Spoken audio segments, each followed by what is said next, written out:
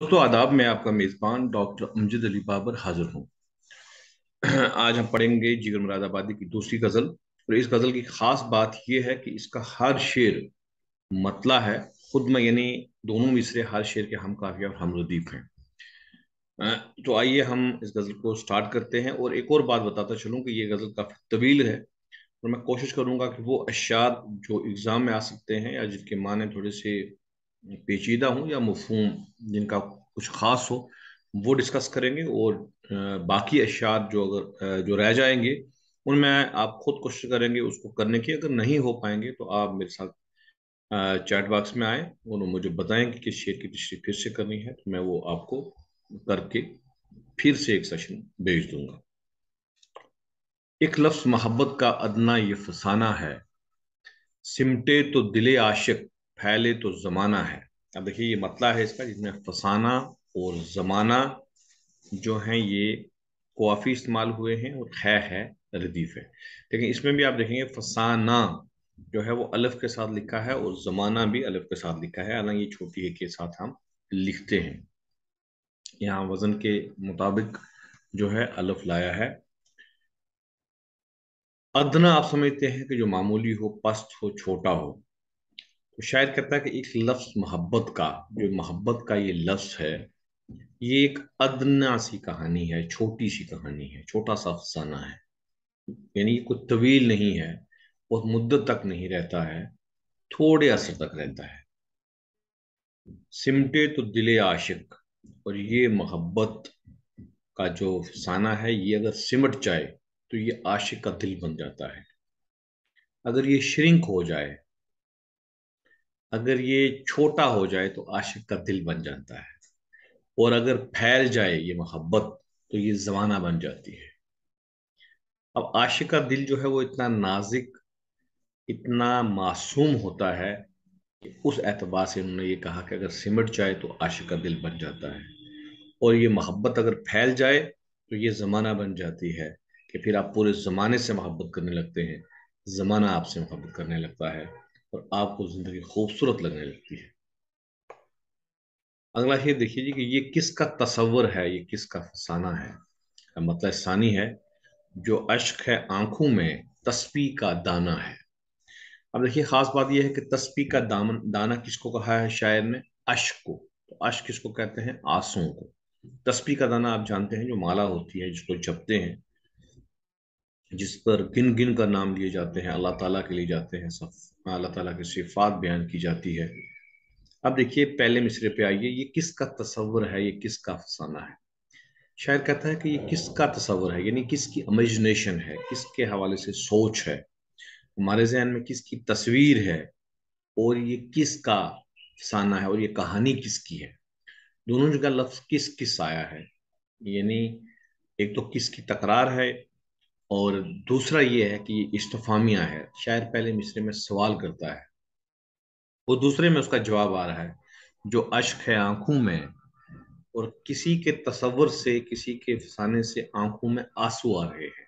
यानी किसी की याद से या किसी की कहानी इतनी दुख भरी है, फसाना इतना दुख भरा है कि उस याद से आँखों में आँसू आ रहे हैं, जो अश्क है आँखों में तस्बी का दाना है। और वो तस्बी के दाने की तरह है। तस्बी के दाने की तरह क्या है कि गिन गिन कर वो अश जो है आँखों से बह रहे हैं और गिन गिन के किसी की याद आ रही है। यानी कई बार आती है, सौ बार आती है, हज़ारों बार आती है लेकिन वो तस्वीर के दाने की तरह आती है। और दूसरे माने में हम ये भी ले सकते हैं कि तस्वीर का दाना आँखों में ये होना कि आँखों में चुभ रहा है कुछ किसी की याद की वजह से। और जब इंसान दुख दर्द में होता है, इंसान की आँखों से आँसू छलकते हैं तो यकीन आँखों में दर्द होता है। अगला शेर देखिए जी कि दिल संग मलामत का हर चंद निशाना है। दिल फिर भी मेरा दिल है, दिल ही तो जमाना है। अब देखिए, इस शेर में सबसे बड़ी बात है कि दिल को कितनी बार शायर ने लाया है। शायर ने पहले ये कहा कि दिल जो है वो संग मलामत है। दिल के ऊपर कई इल्ज़ाम लगाए जाते हैं और उसी चीज़ का निशाना है। दिल इल्ज़ाम का निशाना बन जाता है। दिल को मुजरम ठहराया जा, दिया जाता है और दिल को ही कसूरवार ठहरा दिया जाता है। और दूसरे मिसर में शायर कहता है, दिल फिर भी मेरा दिल है। इस दिल को आप कुछ भी कहें, लेकिन ये मेरा दिल ही मेरा दिल है। और यही दिल जो है, ये सारा जमाना है। सारा जमाना दिल को कहने से मुराद ये है कि अगर इंसान का दिल ना हो, अगर इंसान को जमाने के साथ प्यार ना हो, जमाने में बहुत सी चीज़ें इंसान पसंद करता है, इंसान का दिल आता है उन चीज़ों पर, इंसान की ख्वाहिशात जागती हैं तो उसी से जमाना चलता है, उसी से इंसान की ज़िंदगी चलती है। अगर इंसान का दिल भर जाए और उसको किसी भी चीज़ की ज़रूरत, किसी भी चीज़ की हाजत ना रहे तो फिर उसके लिए जमाना कुछ भी नहीं रहता। दिल अगर कोई इल्ज़ाम भी ले लेता है अपने पर, संग संग बोलते हैं पत्थर को। संग मलामत, पत्थर जैसी उसकी एक उस पर अगर मलामत है तो वो बात ठीक है, लेकिन दिल ही से ये सारा कुछ बनता है।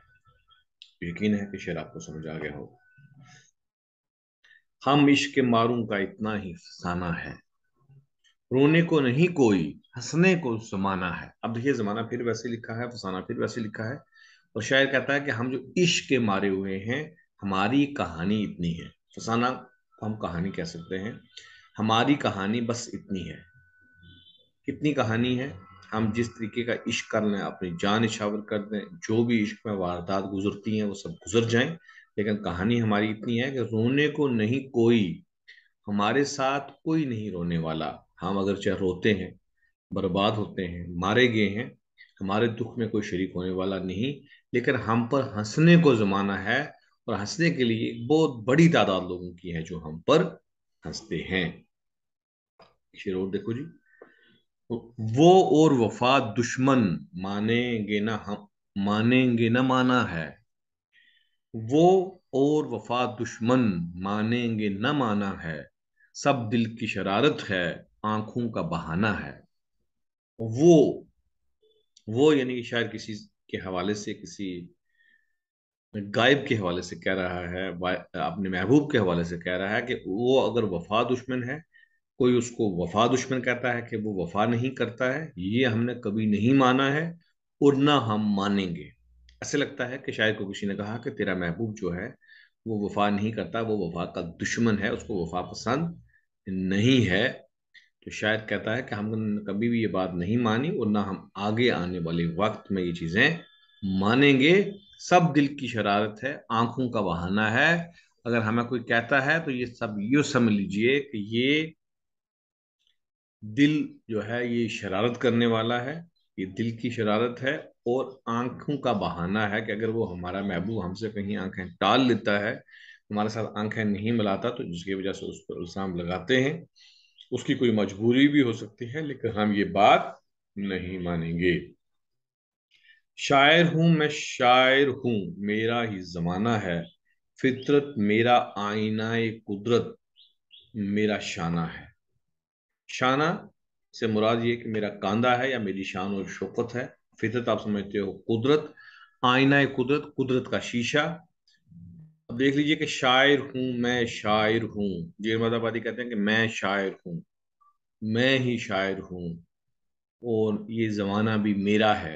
यानी मैं जिस तरीके से सोचता हूँ, जिस तरीके से मेरा ख्याल है, जिस तरीके से मैं दुनिया को देखता हूँ या दुनिया को चलाता हूँ तो ये ज़माना मेरा है। क्योंकि मैं अपनी रजा से चलता हूँ, मैं आज़ाद ख्याल हूँ। फितरत मेरा आईना कुदरत और फितरत जो है, कुदरत जो है वो मेरा कुदरत का आईना है। मैं फितरत में, मैं कुदरत में अपना आईना दिखता हूँ। मुझे कोई दूसरा आईना देखने की हाजत नहीं है। मैं अल्लाह ताला की बनाई हुई चीज़ों में अपने आप को पहचान सकता हूँ, देखता हूँ और यही मेरी शान शौकत है, यही मेरा शाना है। जो उन पे गुजरती है, किसने उसे जाना है? अपनी ही मुसीबत है, अपना ही फसाना है। अब ये भी देखिए, इसमें छोटा सा मजमून है कि जो उन पे गुजरती है उन पर किसी के हवाले से बात कर रहे हैं, वो किसको पता? जो किसी पे गुजर रही है, उसको किसी ने नहीं जाना। यानी उसके हवाले से किसी को पता नहीं है। हर शख्स की अपनी एक मुसीबत है, हर शख्स की एक अपनी कहानी है, हर शख्स का एक अपना फसाना है। अब ये भी देखिए कि हर इंसान कहता है, अगर इसी शेर के तनाजर में हम देखें कि मैं दुखी हूँ, मैं परेशान हूँ और हर इंसान को ये लगता है कि मैं दुखी हूँ, दूसरे परेशान नहीं है। और इस हवाले से अगर हम इस शेर को गौर करें तो हर शख्स की एक अपनी मुसीबत है, हर शख्स की एक अपनी कहानी है, हर शख्स का एक अपना दुख है। क्या हुसन ने समझा है, क्या इश्क ने जाना है? हम खाक निशूनों की ठोकर में जमाना है। ये भी देख लेते हैं कि हुसन और इश्क दो चीज़ें लाई हैं कि हुसन ने क्या चीज़ समझी है और इश्क ने क्या चीज़ जानी है? ये भी हम कहते हैं कि इश्क जो है वो हुसन का गर्विदा है। इश्क जो है वो हुसन पे फिदा हो जाता है। तो ये कहता है कि हमने इसको क्या जाना है? हम खाक निशी हैं, हम खाक छानने वाले हैं। और हम खाक छानने वालों की किस्मत में सिर्फ़ अगर है तो जमाने की ठोकरें हैं, जमाने का सितम है। इसके अलावा हमारे हाथ में कुछ भी नहीं है। आगाज़ मोहब्बत है, आना है, जाना है। अशकों की हुकूमत है, आहू का ज़माना है। शायद कहता है कि मोहब्बत का आगाज़ है, अभी कोई ना आने की बात है, ना जाने की बात है। अभी तो सिर्फ़ आँखें चार हो रही हैं। और मोहब्बत के आगाज़ में शायद कहता है, क्या हो रहा है? अशकों की हुकूमत है कि आँखों से आँसू टपक रहे हैं, अश्क टपक रहे हैं। और आहें, इंसान जब आहा भरता है वो आम का जमाना हमारा चल रहा है। सिर्फ़ हम सर्द आया भरते हैं, गर्म आया भरते हैं, लेकिन इस तरीके से हमारे दिन रात गुजर रहे हैं। देखिए, मैं मुख्तसर इनिशिएट की, अशार की तशरी कर रहा हूँ ताकि आपको थोड़ा थोड़ा इसका क्ल्यू मिल जाए। आँखों में नमी सी है चुप चुप से वो बैठे हैं, नाजक सी नगाहों में, नाजक सफसाना है। अब शायद किसी को देखे ये कहता है कि उनकी आँखों में नमी है, यानी आँखें गीली हैं, थोड़े आँसू हैं वो चुप चुप के बैठे हैं, खामोश होके बैठे हुए हैं। आँखें भी बहुत नाजुक सी हैं और नाजुक सा उन आँखों में कोई फसाना है। वो आँखें ये बयान कर रही हैं कि उन आँखों में कोई नाजुक सी कहानी है। चलिए थोड़ा थोड़ा हम देखते हैं कि सब अशार को ही टच कर लेते हैं ताकि आपको मकसी ख्याल सब अशार का पता चल जाए। हम दर्द ब दिले नाला, वो दस्त ब दिले हैरान ए इश्क तो क्या जालम, तेरा ही जमाना है। हम दर्द ब दिले नाला, हम तो दिल से नाराज़ हैं। हमारा जो दर्द है, वो दिल का दर्द है, दिल। बदर्द, दिल जो हमारा दिल का दर्द है, वो क्या है कि हम उसके आजज हैं, हम उससे मजबूर हैं, नाला हैं। हम उसके फरियादी हैं कि जो हमारा दिल का दर्द है। हम दर्द ब दिले नाला हम उसके फरियादी हैं, उसके आगे मजबूर हैं। वो दस्त ब दिले हैरान और वो जो है अपने दिले हैरान पर हाथ रखे हुए हैं। अगर हम इसका माने देखें, दस्त बा हार्ट इन हैंड, के हाथ के ऊपर आ रखे हुए हैं और उनका दिल भी हैरान है। ए इश्क तो क्या जालम, ए इश्क तो क्या जालम, तेरा ही जमाना है कि ए इश्क, तू क्या जालम? कि इश्क से मुखातब है कि तू क्या चीज़ है? ये ज़माना भी तेरा है। यानी कि तेरे सामने सब मजबूर हैं, चाहे कोई बड़ा है, छोटा है, अमीर है या गरीब है, इश्क के आगे सब मजबूर हैं। या वो थे खफा हमसे, या हम हैं खफा उनसे। कल उनका जमाना था, आज अपना जमाना है। अब देखिए, इसमें भी कि कल तक वो हमसे खफा थे, हमसे नाराज़ थे, या हम आज उनसे खफा हैं, या आज हम उनसे नाराज़ हैं। कल उनका जमाना था, यानी उनकी चलती थी, उनका इकतदार था, वो ताकत में थे, और आज हमारा ज़माना है, हम इकतदार में हैं, हम ताकत में हैं। और ये भी एक कशमकश रहती है कि इंसान के ये जो नशीब व फराज हैं कि कभी कोई एक इकतदार में होता है, वो अच्छी हालात में होता है तो उस वक्त वो दूसरे अपने करीबी के साथ इतने अच्छे ताल्लुक नहीं रखता। और जब उस पर बुरे दिन आते हैं और वो जो गरीब शख्स होता है, वो अच्छे दिन में आ चुका होता है तो फिर वो भी वैसा नहीं करता। तो ये सिलसिला दुनिया का ऐसे भी चलता है। इश्क जुनू पेशा हाँ इश्क जुनू पेशा, आज एक सितमगर को हंस हंस के रुलाना है। कि कहता है कि ए इश्क जुनू पेशा ए इश्क तेरा पेशा क्या है? जुनू दीवानगी। जो इश्क में आया तो वो दीवाना हो जाता है। कहता है हाँ ये जो इश्क है, इसका पेशा ही यही है। इसका पेशा से मुराद, इसका काम ही यही है कि ये दीवानगी इंसान को दीवाना बना देता है। कहता है, लेकिन आज क्या करना है? आज एक सितमगर को हंस हंस के रुलाना है कि एक ऐसा सितमगर जो सितम डालने वाला है, उसको हंस हंस के, कि वो इतना हंसे कि उसकी आँखों से आँसू निकल आए। थोड़ी सी इजाज़त भी ए बज्म का हस्ती। आज निकले हैं दम पर को, रोना है, रुलाना है। कि ए बज्म बज्म हो गया महफल, दुनिया की हस्ती। बज्म गया हस्ती कि ए दुनिया की महफल। थोड़ी सी हमें इतनी भी इजाज़त दे दी जाए, इतना मौका दिया आ जाए कि आ निकले हैं दम भर को। अगर थोड़ी देर के लिए हम आ निकले हैं, यानी हम इस दुनिया में आ गए हैं तो रोना है, रुलाना है। या हमें खुद रोना है या दूसरे को रुलाना है तो ए हमारी दुनिया ए हस्ती हमें इतनी इजाज़त ज़रूर दे दी जाए। ये इश्क नहीं, आसान, इतना ही समझ लीजिए, एक आग का दरिया है और डूब के जाना है। ये बहुत अच्छा शेर है, इस गज़ल का सबसे अच्छा शेर कहूँ। और इस गज़ल के, इस शेर के हवाले से मैं ये भी बता दूँ कि बहुत से लोग इस शेर को गालिब के साथ जोड़ते हैं, लेकिन हकीकत ये है कि ये जिगर मुरादाबादी का शेर है। इस शेर में ये कहते हैं, ये इश्क नहीं आसान, ये जो इसको हम इश्क कहते हैं, ये इतना आसान नहीं है। और अगर आपको इसको समझना ही है तो आप इसको ऐसे समझ लीजिए या इतना समझ लीजिए कि हम आपको कह रहे हैं कि ये आसान नहीं है। ये एक आग का दरिया है। आग का दरिया से मुराद कि ये जला देता है, ये इंसान को तबाह और बर्बाद कर देता है। ये बहती आग का दरिया है और इसमें से डूब के हमको पार जाना है। एक तो ये इसका माने निकलता है ये आसान नहीं है इश्क बहुत मुश्किल है। ये ऐसे है जैसे कि आग का दरिया क्रॉस करके हमको पार जाना है। और दूसरा मफहम अगर लेंगे, इसका एक और मफहम निकल सकता है कि हम आपको कह रहे हैं कि ये इश्क आसान नहीं है। और हम आपको इसलिए कह रहे हैं कि ये ऐसा आग का दरिया है जिसको हमने डूब कर, हम भी इसमें डूबे और उसके बाद हमें ये पता चला, हमने ये जाना कि ये आग का दरिया है। इस तरीके से भी आप इसकी तशरी कर सकते हैं। खुद हुसन व शबाब उनका क्या कम है रकीब अपना, जब देखे अब वो है आईना, है शाना है। ये शेर आप खुद करेंगे। तस्वीर के दो रुख हैं जा और गमे जाना, एक नक्श छुपाना है, एक नक्श दिखाना है।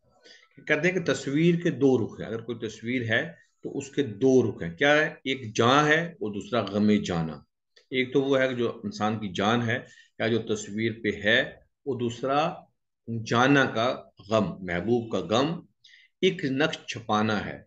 जो महबूब का गम है, वो तो छुपा लेना है, और जो नक्श है वो हमें सबको दिखा देना है। अब यूँ कह सकते हैं, किसी के पास महबूब की तस्वीर है, वो तो इंसान को दिखा सकता है कि ये मेरा महबूब है, लेकिन जो उसका दुख दर्द है, वो नहीं बता सकता कि उसने उसके साथ महबूब ने क्या जुल्म सितम किए हैं और वो क्या कहानी है, ये बात छुपा लेनी है।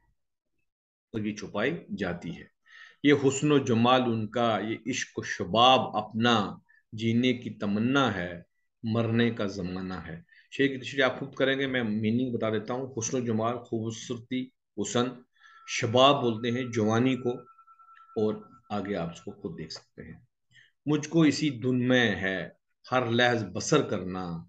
अब आए वो, अब आए, लाजम उन्हें आना है। हर लहज, यानी हर वक्त, हर लम्हा मुझको अपनी ज़िंदगी ऐसे बसर करनी है, इस धुन में बसर करनी है अपना वक्त इस तरीके से गुजारना है।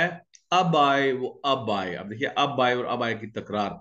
जब इंसान किसी का इंतज़ार करता है कि इंसान ये कहता है कि वो अब थोड़ी देर में आने वाले हैं, अब थोड़ी देर में आने वाले हैं। और ये भी इंसान दिल को यकीन दिलाता है कि उनको लाजम है, यानी उनको ज़रूरी है कि उनको आना है। ताखिर ज़रूर हो सकती है, लेकिन हमें उनका इंतज़ार करना है। और अपनी ज़िंदगी हमने हर हर पल इस तरीके से गुजारनी है। बहुत खूबसूरत शेर है कि जब इंसान किसी का इंतज़ार करता है और हर लम्हा इंतज़ार करता है, तैयारी में होता है, आँखें दरवाजों पे लगी होती हैं और इस तरीके से इंसान की ज़िंदगी में एक तजस्स होता है कि इस तरीके से इंसान की ज़िंदगी दिलचस्प भी होती है और इंसान के पास एक तस्क भी होती है।